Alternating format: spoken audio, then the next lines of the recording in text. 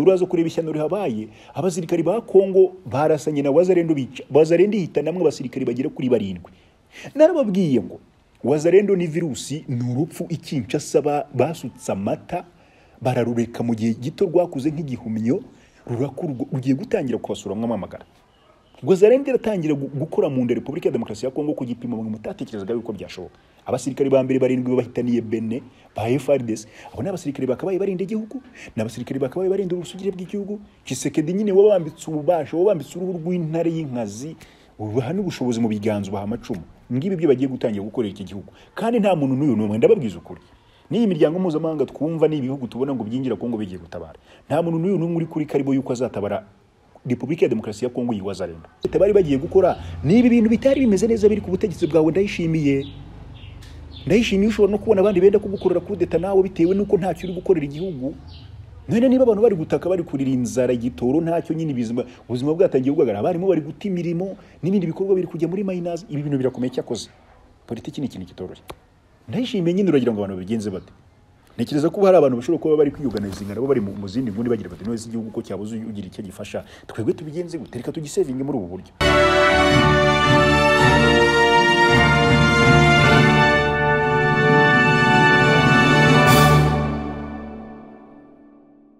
Mwongeye kwirirwa mwebwe mwese mukomeje gukurikira muhabura tv mwisesengura amakuru ryacu na gahunda zitandukanye zitambuka kuri uyu murongo mugari wa muhabura tv mbikuye ku mutima ndabashimiye mwebwe mwese. Mwakoze subscribe. Birumvikana neza yuko uh, amakuru tuganiraho isesenguramakuru ibitekerezo dusangira byose bica bikomeza kubageraho mbere y'abandi. Nimwikomera amashyi imana ibaha umugisha kuri mwebwe mwese muri, muri uyu mubare ibihumbi mirongo ine na birindwi na birarengaho nimukomeze mukore subscribe nimukomeze mufyondeho tuzamuke twikuze mu note ya mirongo itanu cyangwa se twuzure ibihumbi mirongo itanu ah, by'ababana na rugamba by'ababana n'abasesengura amakuru nkunda kuzana hano by'ababana n'impuguke nkunda kuzana hano. Ukwezi kwa gatandatu ni ukwezi ko gukora cyane amezi asigaye tugiye gukora cyane nimureke we have to get something big kandi it's possible. Twagaragaje cyangwa se twerekanye yuko bishoboka kuba twakora ikintu gikomeye. Muranshimisha cyane iyo mukurikira ibiganiro nateguye muranshimisha cyane iyo mumpugura iyo mu bwunganizi ubwo ari bwo bwose aba mu bwunganizi bw'ibitekerezo eh, n'aba mu bwunganizi bw'ibifatika rimwe na rimwe nabwo ndabashimira kandi nabwo mumenye ko bukenewe. Rega rwese kugira ngo ntimukeneye ko amafoto aba amashusho aza agaragara neza ibiganiro biza nabikoreye ahantu heza ibi byose n'imbaraga zishingiye ku mbaraga z'ibitekerezo n'amafaranga na byo reka mbyongeremo ntabwo mbabwiye ngo nimuze mutange amafaranga ariko na yo abonetse ntabwo ari bibi. Abari muri ya gahunda yo gushaka abafatanyabikorwa bamamaza ibikorwa byabo abishimira ibyo nkora ushobora kuba unkurikira uri umupapa ufite ibikorwa byawe by'ubucuruzi ariko ukagera tuba wakifatikanya n'uno mwana w'umusore ibintu bye byazamuka nanjye ibyanjye bikazamuka. Mfite umubare munini w'abantu bankurikira kandi bari seriye bakuru ntekereza yuko bitaba ari isoko bi- bi- bi- bi- bi- bitaba ari ugupfusha ubusa mu gihe ibikorwa byawe byamenyekana biciye muri abo bantu. Munyandikire cyangwa umpamagare kuri zeru karindwi umunani gatatu icyenda icyenda gatandatu rimwe gatandatu Ka niyo nimero wayifashisha uriye kumpamagara ku mpamvu ebyiri. Iya mbere ni ukumpamagara umbwira uti musore ko nabonye ku munsi utambutsa video nyinshi kuri iki gitangazamakuru cyawe eh, cyangwa kuri uru rubuga rwawe urubuga rushobora gutangirwaho ibitekerezo. Cyangwa se kuza kunganira ku makuru bari kuvuga mu bice bitandukanye tukagira icyo tutangaho nk'ibitekerezo nk'abaturage bo mu karere. Icyo ni kimwe. Cya kabiri cyangwa se ukayifashisha ugiye kumpa isoko. Murabizi ko ari mwebwe isoko zanjye nifashisha mu makuru amwe n'amwe ntangariza abantu. Hari ibyo tuba twabanje kuganira mu gikari hari ibyo murabanje kubasobanuza ku makuru muba mwamaye abari za masisi aba- abari za rubero aho ngaho abari za bene abari hano gitega bujumbura n'abari za hano cibitoke. Murabizi ko tuganira. Ndafise abantu benshi cyane hano mu gikari wanjye. Turaganira ni inshuti nubaha. Ibanga ryanyu mwarabonye ko ndirinda ntawe ndaza ngo ntangaze ngo runaka ni we wanyohereje bino bintu bibereye bujumbura nawe ndaza ngo mvuge ngo uyu nguyu nunyohereje ibintu bibereye i goma ibi ngibi itegeko riransaba yuko ngomba kubarindira umutekano ubwo ni mu buryo buri confidential nyine ku mabanga muba mwamaye ko ngomba kuyabika muri izo nzira. So tubane rero muri iki gitondo mumerewe mute? Reka nizere ndashidikanya yuko mumerewe neza nizere ko namwe muri gukora cyane kugira ngo ubukungu bwanyu nabwo bukomeze kubakika neza. Domeni izo ari zo zose muri mwo muri gushakishirizamwo imana ibaheremo umugisha. Tugiye kuganira rero muri iki gitondo uh, tugiye kujya ku butaka bwa kongo. Narababwiye ngo ibintu biri kubera muri kongo ibintu bikorwa n'uyu mutegetsi Tshisekedi Chirombo narababwiye yuko uburyo tu- tu- tubiganiraho uburyo tugira icyo tubivugaho ntabwo ari ugutega iminsi kiriya gihugu ariko ni igihugu kidafite abagifite cyangwa se kiri mu maboko mabi.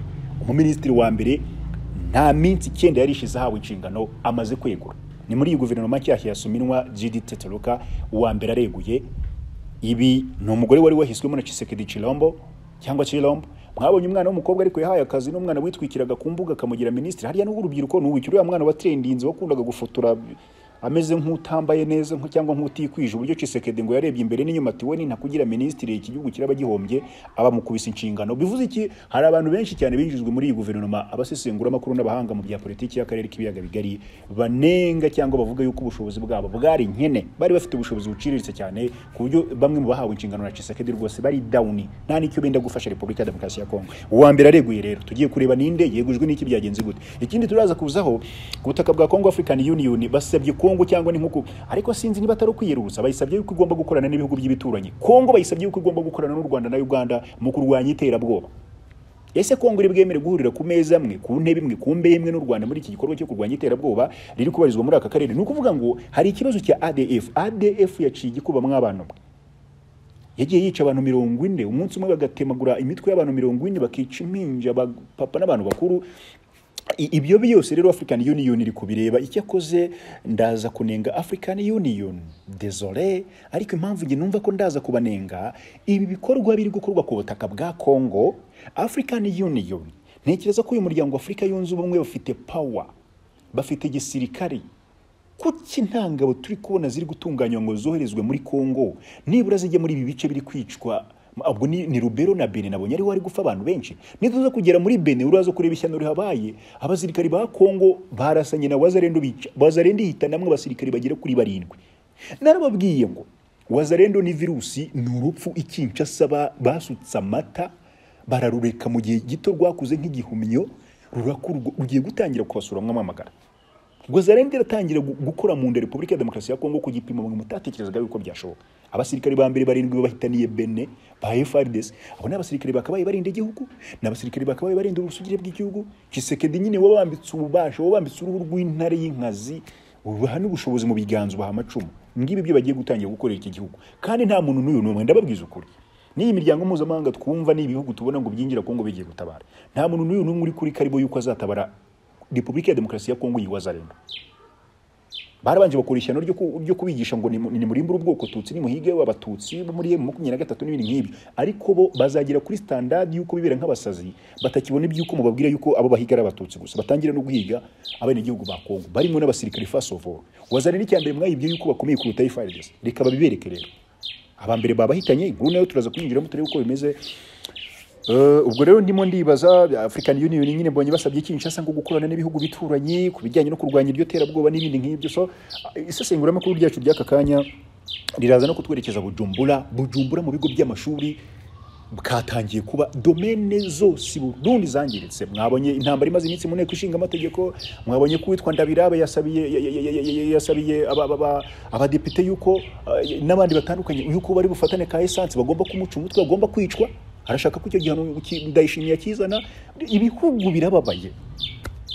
Biratesetse umwanda umunsi ku wundi kuri kugenda uzamuka. Ese nari ndimo mvuga nti icyo gihano cy'urupfu ni cyiza hari indongozi n'imwe iri busigare i Burundi? Geraze Ndabirabe wasabye ngo aho basanga esanse babica hari indongozi reka twibaze frankly speaking abarundi muze no kumbwiza ukuri. Kuko igihano cy'urupfu ni cyiza nk'uko uyu muntu uri gukora mu nteko ishinga amategeko yanyu abisaba. Ese nibica buri ndongozi basanganye ka esanse mu rugo hari indongozi n'imwe iri busigare. Buriya umukuru w'igihugu bari busanga nta ka esanse kari mu rugo yibikiye mu bigega bye. Ni akabazo mbibarije ntago mpagaze ngo nshinje cyangwa ngire nte ariko ngaho tukibaza namwe maraza kunsubiza. Hanyuma uh, ntabwo ariho turi buze gutinda cyane mu mashuri ni uko mu mashuri byatangiye kwangirika cyangwa byatangiye kwafegita ibijyanye n'uburezi abarimu bamwe na bamwe kubona transport zibageza ku mashuri aho bakoreraga akazi ntibikiri gukunda. Bamwe bataye imirimo yabo bafata amagare bajya gushakira ubuzima mu cyaro. Abari bifitiye utunyabiziga ubwo n'imodoka batwaraga benshi baraziparitse bashuka iya moto. Moto na yo ntabwo iri gutanga ibisubizo bifatitse abandi bari mu cyaro nyine bahinduye domene bagiye mu gisata gituma babaho badafite aho bahuriye n'igitoro cyangwa peteroli. Imyaka ibiri irashize riga mwabagabo mwe ndayishimiye umugabo wagaragaje imbaraga nkeya ku butegetsi bwe uretse ko mudashaka ko tubivuga muri ubwo buryo uretse ko tubivuga muri ubwo- buryo nkaba nagira i bujumbura mukambwira ati ngwino tubwire yagize imbaraga nke. Nababwira n'ibigaragara mukaba mwaca umutwe mubinjiza ariko nimureke twemere tuvugisha ukuri kw'ibihari. Erega abantu benshi bagiye bakira ibikomere bemeye kubigaragaza barabikanda. Bagiye bakira ibibyimba bemeye kubigaragaza barabikanda. Amashuri niba na yo atangiye kuba attacked n'iri bura ry'igitoro ku butaka bw'u Burundi kugeza amagingo aya mu by'ukuri eh, nabonaga ngo bagiye gushyiramo gahunda yo gufata ibihingwa eh, ngengabukungu birimo ikawa n'ipamba. Mu Burundi nabonaga ngo, ariko ga strategy gahari bakabitwara hanze hakaboneka amadevize yinjira mu gihugu. Tekinike reka mbibira akabanga murazi neza impamvu muzituma idevize ritaboneka i Burundi. Ibi bintu byababayeho bibiri na cumi na gatanu. Murazi neza yuko inkunga nyinshi ngo zahagarikiye Burundi bi- bifitanye inkomoko na kiriya gihe. Kuki aba bantu bahunze igihugu bari kururungutana hirya no hino? Mutabareka ngo bataye mu mahoro aho kuvuga ngo mugiye kubakubita intahe mu mutwe. Erega kudeta bari bagiye gukora? Niba ibintu bitari bimeze neza biri ku butegetsi bwawe ndayishimiye.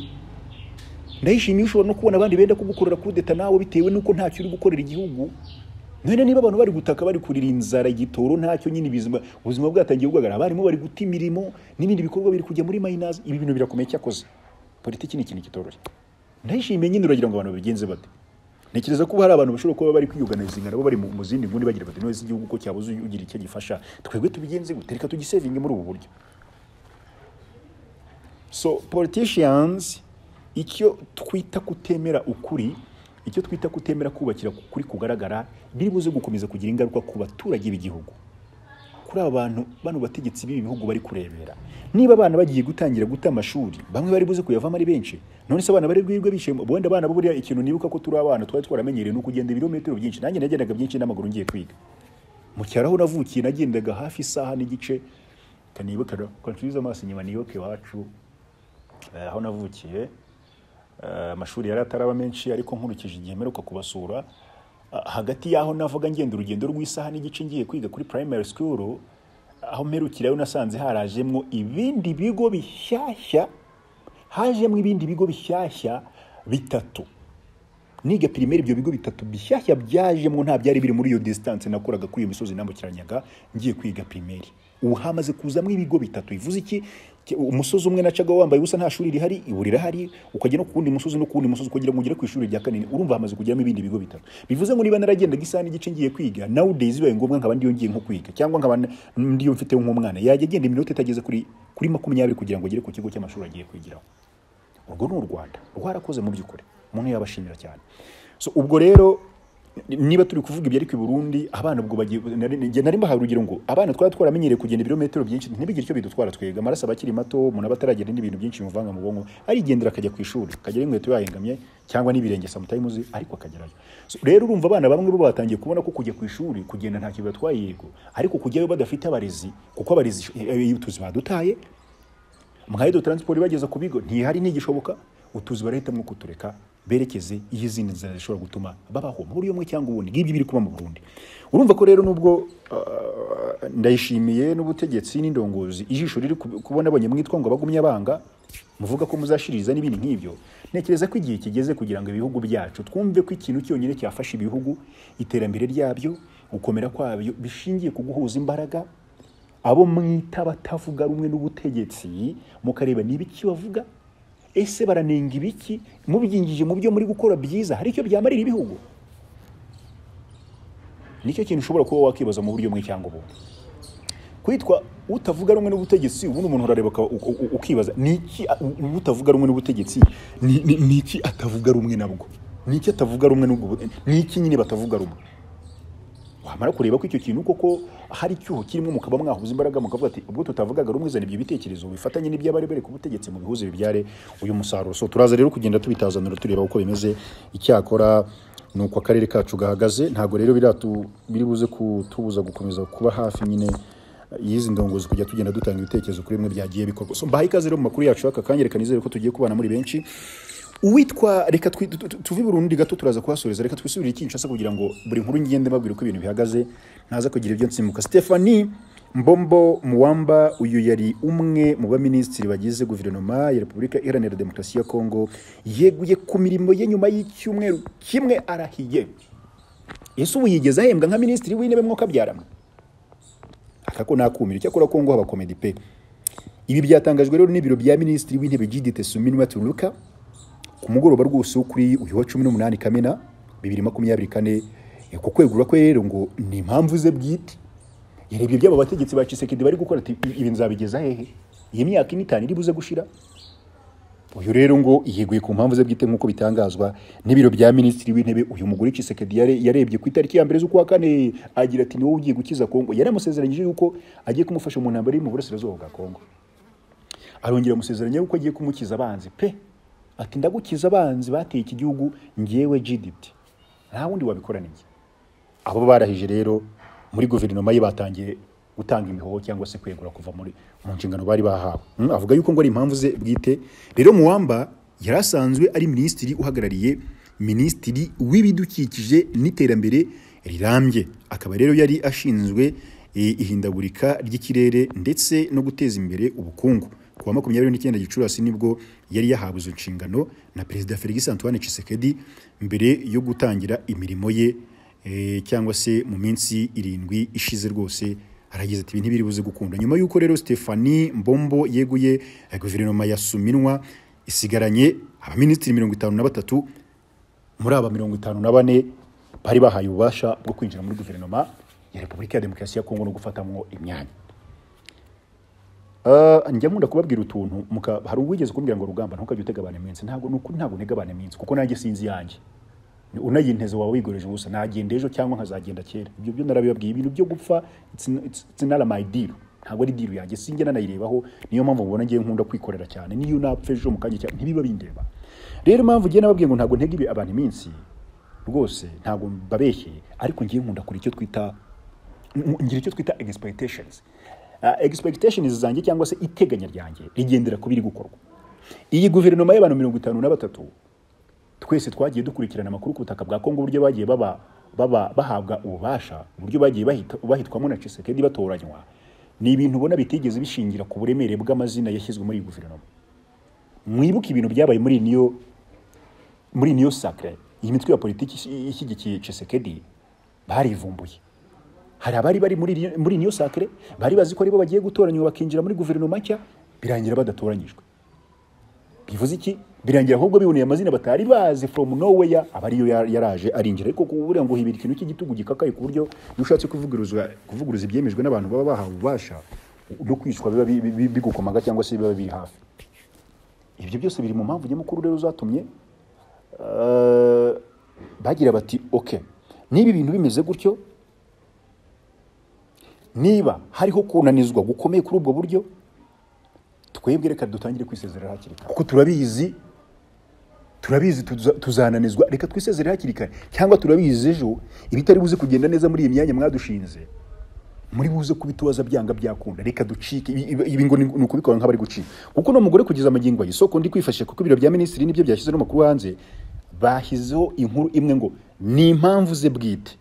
Ariko twibaze impamvu zatuma bakugira minisitiri mu minsi irindwi kwegura ni izihe mwuka byaramwe impamvu nari ngiye gukoresha akantu kavuga ngo muze kunkura mu mboni yuko ubona yuko ngiye ntega ubutegetsi bw'abandi minsi ariko ngiye ndeba igihugu kizabyara igihugu ngira nkakubwira ati hano ndabona bizagenda gutya.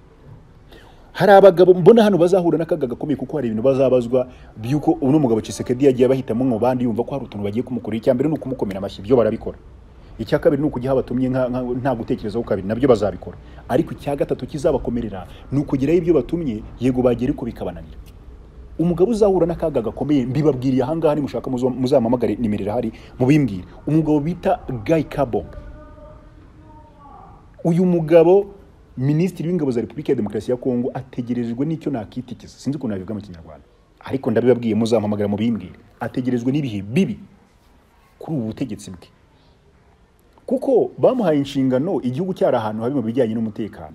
Bamuha inshingano igihugu n'umukuru w'igihugu ari kwegispekitinga ibintu ashaka ibintu byinshi mu bantu ari guha inshingano. Bemba wakanyakanyaga wari umusirikare uzwi twari tuzi ibitendo bya nijanitse mu byaha by'intambara n'ibindi nk'ibyo ICC mugira umwere dushime ko yamugize umwere ubwo ni umwere twe ntabwo ari twe dufite ubushobozi bwo gushinja abantu kuko yabaye umwere yego ariko ni umuhanga mu bya gisirikare. Yabaye mu ishyamba byizi by'intambara zi ABCD bivuze iki? Strategy zose yari afiteho amakuru. Urumva ikintu ndimo nakubwira nibura we eh, Bemba eh, yari yifitiye navuga ko yari afite ubunara- ubunararibonye buruta ah, ubwa Guy Kabongo I think so. Rero kuba yari yaregejwe inyuma nk'ikote bakazana uriya mugabo tutazi iyo bari bakuye. Nashatse ibigwi bye mu by'ukuri njyewe narabibuze wenda yari umusirikare course ariko nta bigwi nabonye byo kuza gusapotinga no, gu, no gusova kino gihugu cya Kongo kibereye mu kangaratete no mu manegeka nk'aya ngaya. Nibyo bintu rero ndi kukubwira ngo ntabwo biri buze korohera. eh, iyi Repubulika ya Demokarasi ya Kongo n'aka na gato ubwo rero ndashaka kukumvisha ko ino guverinoma ya Judith Suminwa ni umuguru bigaragara yuko yumvwa na Tshisekedi gusa. Arumva na Tshisekedi n'uyu mugabo bita Buya Augustine w'umuvugizi wihariye wa Tshisekedi nyine urahura ni abantu bameze nk'akantu k'akazu nyine. Iyi guverinoma ubwayo mwabonye uburyo inigagurana n'inteko ishinga amategeko. Ntibahuza ubwabo mwabonye uburyo badahuza ntabwo ubundi ba- bari bavuze yuko bagomba kuyisesa. Ariko ku- kuyisesa ntibyakunze byarangiye isinye irahiye uko kurahira rero nyuma nguku abyifuzaga yuko yaseswa n'ubundi bari kubona yuko ari bwo buryo bwonyine bwashobokaga kugira icyo bwafasha Kongo nguko rero ko ugiye kugenda ikomeza isohokamo ruto ruto. Babwiye ko uyu nguyu ari usohotse aka kanya ariko turaza kumva n'abandi benshi byanga bikunda. Byanga bikunda turaza kumva n'abandi benshi bari buze gukomeza kugenda basohokamo ruto ruto basohokamo ruto ruto. Genda bibona ko biri buze gukunda kuri buno butaka bwa Kongo. So rero niyo mpamvu babwira yuko icyizere cyo kumva yuko hari ibyaba bigiye kwenda gukemuka hano kuri ubu butaka bwa Repubulika ya Demokarasi ya Kongo. Byo ni hafi ya ntabyo mu by'ukuri. So i- rero reka twikomeze kuri iyi nkuru. Ni inkuru nabonye y'agaterera nzamo kuri ubu butaka bwa Kongo. Uh, Kongo itangiye kurasana nabo bakabaye bahangana mu gufatikanya kurwanya umwanzi Mm? kuko ah, ku wa cumi na karindwi abarwanyi batandatu ba wazarendo bishwe na FIDC ni ahitwa Imabalako muri teritwari ya Beni muri Kivu y'Amajyaruguru. Wazarendo nyine bari ni nko gukomeretsa intare cyangwa gukomeretsa tayiga batangiye kubica niba ejo bundi babagize abasirikari babagize abapatriote bagiye gusevinga igihugu none batangiye kubiyicira sosiyete sivile rero yo muri aka gace iravuga yuko aba barwanyi ba wazarendo bagabye igitero. Nibo bagabye igitero ku birindiro by'ingabo za leta. Bapfamwo abantu batandatu. Kuri uyu wa mbere rero nyuma ya saa sita ni bwo eh, ahitwa ah, mabalako habonetse agahenge nyuma y'uko bakozanyijeho radiyo okapi y'umuryango w'abibumbye rero eh, cyangwa se igitangazamakuru cya okapi eh, kiratangaza iyi nkuru kivuga yuko ariko ndabona mu by'ukuri FARDC ndabona barasa n'abari kubica hejuru kuko iyi nkuru rega ni iy'igisebo. Kumva mu gisirikari cya leta ni cyo gitangiye kwica abo abafatanyabikorwa. Cyangwa se abagifashaga mu kurwanya urugamba rwo kurwanya M makumyabiri na gatatu ubwabyo murumva ko ni igisebo mwa bagabo. Ubwabyo birakomeye birakomeye ubwabyo. Hmm? ubwabyo murumva yuko bikomeye rero muri kubona yuko ibi byabereye mu gace ka Rubero abasore bitwaje imbunda bishe abasirikare babiri ba FARDC mu ijoro ryo ku wa gatanu rishyira ku wa gatandatu. Tariki ya cumi na gatanu Kamena ni ahitwa Njiyapanda. Bano bantu nkuru nayibagejejeho. Mwumvise uburyo ki bya bintu nababwiye ngo mbabwira ibintu bitari byo gutega abantu iminsi ariko igihugu kizabyara igihugu nyina mbabwira ati bizagenda gutya aba basirikare babiri bishwe mu byibuke. Mu makuru twaganiriye mu minsi yashize biciwe hano za Rubero Rubero ni Rubero na Bene ni hano hari hari gukorerwa ishyano na ADF noneho abo basirikari abaturage insoresore zabatangiriye zirabivugana ngo bari bikanze yuko ari ADF igarutse kubicira abantu. Bati turabica turabatwika ntimurarenganga ariko amakuru hari nuko bari bari mu ikamyo ngo yari ishyiriye utwo kurya abandi basirikari bari bari ku rugamba bahanganyemo na M makumyabiri na gatatu. Duheruka urugendo rwa MONUSCO yari igiye kwerekeza Rubero nabwo ntituzi aho rwahagarariye nta makuru twongeye kumenya. Ariko baje kubatangirira mu nzira nabo babarasaho.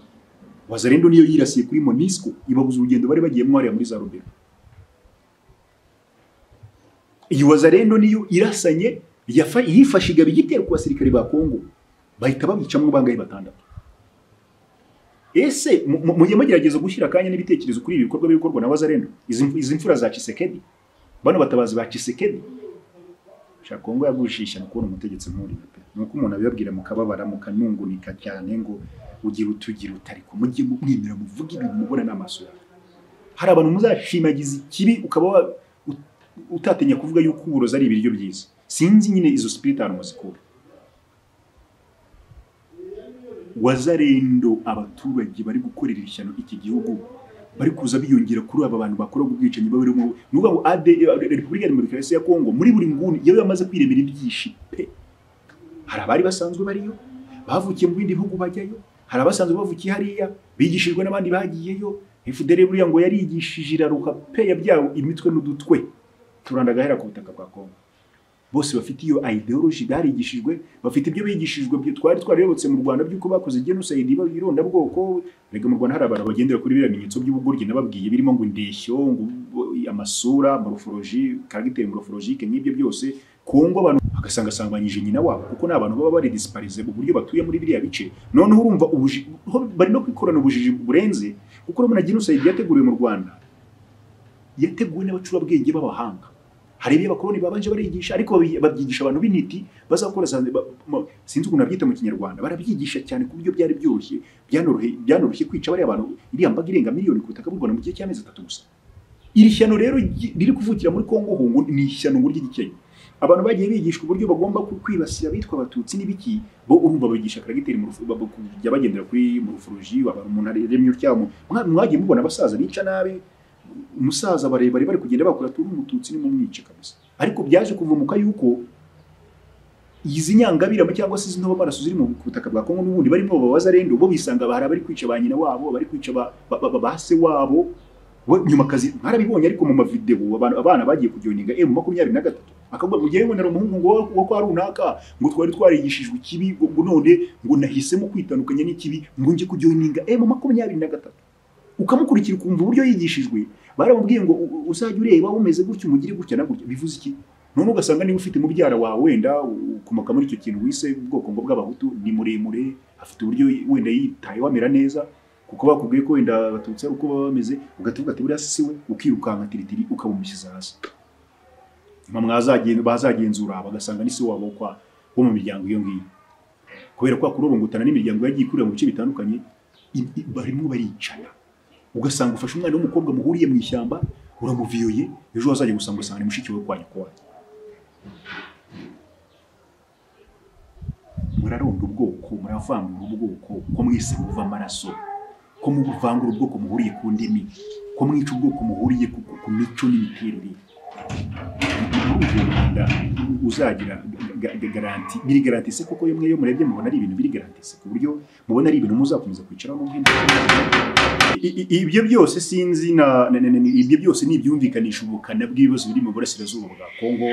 Uh, Kongo ikibona mu mboni yayo yuko ibitagenda neza ari igihugu kimwe gusa u Rwanda. Narababwiye ngo uh, if u Rwanda rutari ahangaha ubundi Kongo yagira amahoro mu buryo idafite abayobozi. Ubundi ibintu byose ngenda narababwiye ngo bipfire kuko kuba nta bayobozi n'ibyo bavuga n'ubu ngo u Rwanda rwagiye ruru- binaramutse ari byo koko rukaba rufite uburyo bumwe cyangwa ubundi rushaka kujyaho cyangwa rwaba rujyayo ntabwo ikibazo ngiye nakibona ku Rwanda ahubwo kuki Kongo izi ikibazo muzizi aho ikibazo cyaba kiva kuki batari capable kuki badafite iyo standard yo kuba ubwabo bakiproteje ngo barinde n'urwo Rwanda bakomeze gushyira mu majwi.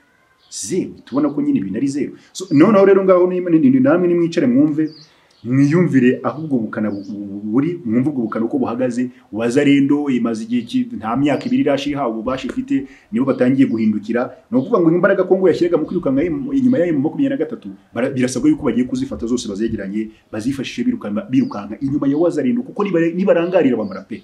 Iyi wazarendo bafite ishyaka bafite inzara bafite n'ibindi bibazo nk'ibyo byose bamwe bafitemo n'ibibazo by'ihungabana. Tshisekedi ariko ntabyo azi kuko ntazi ngo birava biragenda. Ntazi nabo bararuza baba bararuza he?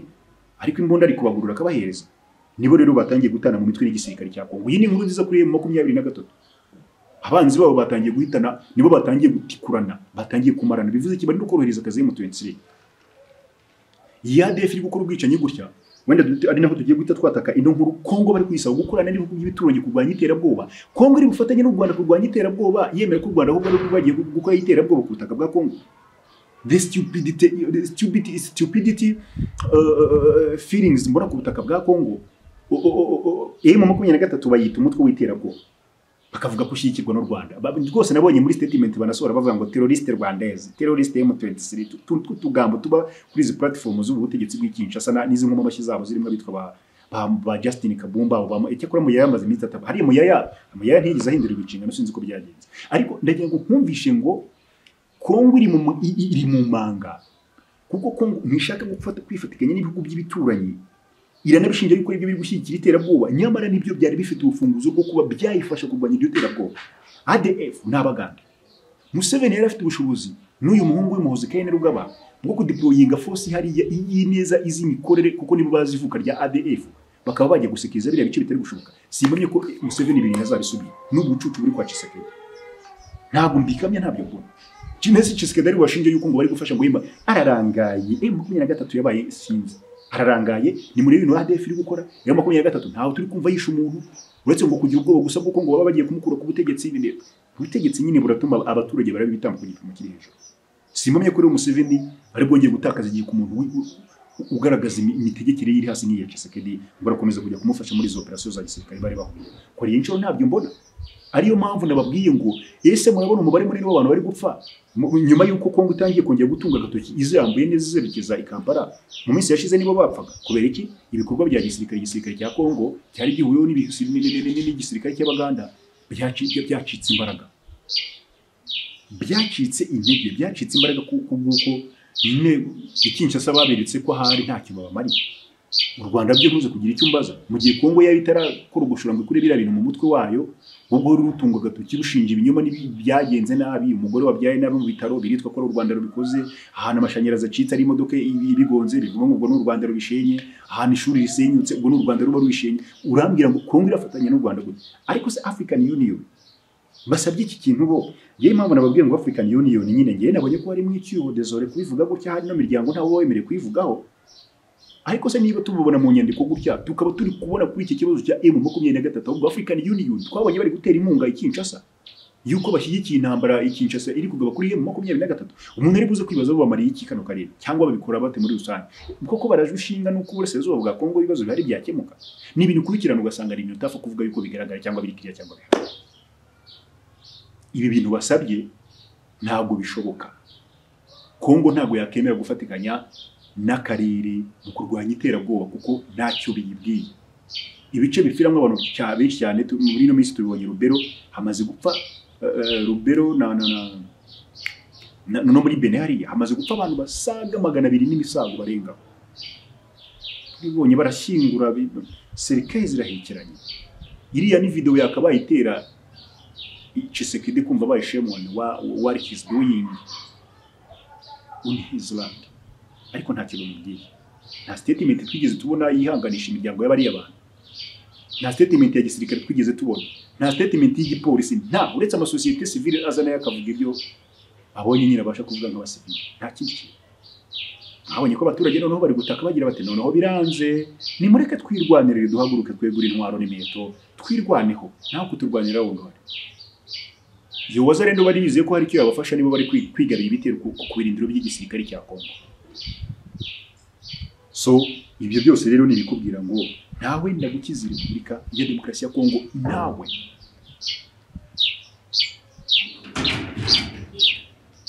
Kuri iyi nshuro ntawe niyo mpamvu abaturage cyakora nibamara kwisobanukirwa no kubona yuko uh, uburyo bwiza busigaye ari ubwo kwihagararaho no kugira imbaraga bwo bizakunda ariko mu gihe bigikorwa muri buriya buryo bw'uburangare bwo ntibishoboka. Mu gihe bigikorwa muri buriya buryo bwo kubabwira ngo hey, runaka niba bagiriye nabi. Nyine harageze yuko abaturage ubwabo biga kureba kure no kureba icyo bagomba kureba cya nyacyo atiri yo, ku- yo, yo, yo kurangarira ku byo baba bigishijwe n'aya maguverinoma yabo.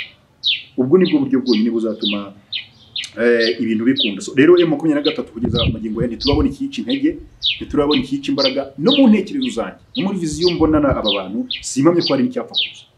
Yarashweho bitari rimwe yewe makumyabiri na gatatu yarapfushije abana b'abakobwa n'abahungu. Yapfushije abayobozi ariko ibyo byose ntibyigeze biba impamvu yo kuvuga ngo icyo turwanira cyahagaze cyangwa kuko icyo barwanya niba barakigeraho. Of course the reason why they, they have to fight until the end of our end bamwe barapfuye basigaye mu rugendo rw'intambara barimo ariko abandi i think so bashobora kuzagera ku cyo bagera kuko ni impamvu isi yose yumva. Reka mbabwire impamvu mubona n'abo bantu byitwa ko bagiye gutabara i Kinshasa bagenda babikora biguru intege baseta ibirenge. Baseta ibirenge. Mbona ko impamvu nyamukuru ishingiye ku kuba bazi neza yuko impamvu bagiye kurwanya yumvikana. Ishingiye ku kuba bazi neza yuko impamvu bari kurwanya bakabaye bayishyigikira. Mu buryo bumwe cyangwa ubundi sindaza kuvuga ngo ubushobozi. Ubushobozi barabufite ariko icyo twita eh, ubushake bwa politiki imyembe ntabwo. Bara- bara- baranakeneye gusharinga umutungo kamere ku bwa Kongo. The reason why ibi byose tubona biza bikagungana gutya tukumva ejo iyo iravuze eh, African Union iravuze European Union iravuze UN iravuze SADC iraje bikakomeza bigapendinga bi- yewe makumyabiri na gatatu ifite impamvu yumvwa na buri muntu uwo wese buri ndongozi yose mu cyiciro ariyo mpamvu tuzabona support zitangwa ku ruhande rwa Kongo. Nazo ziri ingenere kandi ntawatinya kubivuga uzumva ngo hagiye ngo abahungu ngo mu magana inani ngo muri sadeke ngo bagabye igitero ngo bashije inyuma. Ukumva ko n'ubundi ari ibintu nta reme nta reme birimo mu gihugu reason why. Ibiri kubera ku butaka bwa Kongo biri mu biganza bya Kongo n'abaturanyi nibo bantu bonyine bashobora kugira ikintu bakora. Iri terabwoba Kongo riri kujagatira yabaye nk'indiri ibyagaragaza somaliya byose ndi kubona byimukiye Kongo ibyagaragaza Nigeria byose byinshi nabyo byaje Kongo u rwanda na uganda ni byo bihugu byonyine muri aka karere byafasha kongo ibibazo bifite by'iterabwoba bikaba byacuruka. Kubera iki? Iyi fdr n'iramu inkomoko yayo ni mu rwanda. Ni na yo ifitanye n'ikibazo n'u rwanda tipiki ku buryo u rwanda rwakwinjirira muri iki kibazo rushyizemo imbaraga zazo iyi adf inkomoko yayo ni muri uganda ni abaganda. Uganda ifite impamvu irenze imwe ifite n'amakuru arenze ay'undi muntu uwo ari we wese y'uburyo adf yarwanwa bazi n'ubukana bwabo kongo rero mu gihe gishinja u rwanda n'abaganda ko bari gushyigikira ahubwo iterabwoba aho kugira ngo bifatikanye nabo kurirwanya iterabwoba rigiye kujagata mu burasirazuba bwa kongo mboni yanjye ndabona kuri za narenga rigasanga Tshisekedi Kinshasa wande kandi nta mbaraga uyu mugabo afite zo kuzarisubiza inyuma uyu ni Tshisekedi ushigaje kuzisanga mu nzira yo gusaba ubugima pe akagira ati basaza nabaye injiji bitagakwiye nararengereye rwose nagize abajyanama babi ahubwo nimumfashe nimumbe ibi bintu azabivuga. Wenda sinzi nta mu perezida wenda wakoresha iyo mvugo ariko se uburyo bwo kujijwa kujijwa ariko munene wenda nimugahita mwumva ko umuntu wavuze ijambo riciye hari kwinjiji kujijwa iyo wajijwe harya ubona baba bayinjiji kujijwa so sinzi ariko ku bwanjye mbona ko yajijwe. Kutemera kwifatikanya n'aba bagabo mu kibazo cy'umutekano muke ubarizwa ku butaka bwe abari kuwuteza bavuka muri ibi bihugu ubwo ni u Rwanda na Uganda yari afite impamvu irenze imwe yo gucuruka kubacira bugufi akanabatega amatwi bakamuha ibitekerezo bamwe ati you have to understand this. Aba bantu turabazi bafite imbaraga zingana gutya bavuye ku butaka bwacu kuko twabarwanyije. FDL iyo biza gukunda ariko biza gukorera ibikorwa byayo ku butaka bw'u Rwanda ariko ntibishoboka yararwanyijwe u Rwanda ruzi imbaraga yayo za. ADF rimwe na rimwe mwumvise uburyo yinjira muri Uganda ikicira y'abantu. Uganda izi ubukana bwabo barabarwanyije. Icyo kintu turimo turacyumvikanaho. Kuba barabarwanyije rero barabazi. Aka kanya babonye nabo bahuza imbaraga n'uburyo bwo kubarwanya nabwo barabufite barabuzi ariko kuba Tshisekedi nyine abihunza abigiza adashaka ko bakora nabi icyo niyo nzira ya mbere igomba gukingura ibihombo byose biri kwinjira kwa Tshisekedi hariya. Seto nta n'ibindi muntu yatindaho reka nsubikire aha ngaha amakuru yacu arageze kuri aya ubwo ah, ibindi biri buze kuza mu masaha imbere nimukomeze mube kuri Muhabura TV subscribe ni cyo kintu gikomeye mba mbasaba mukomeze muyikore. Mm, ndacyakomeza kubategurira byinshi bitandukanye kandi byiza blessings over blessing turasubira ubutaha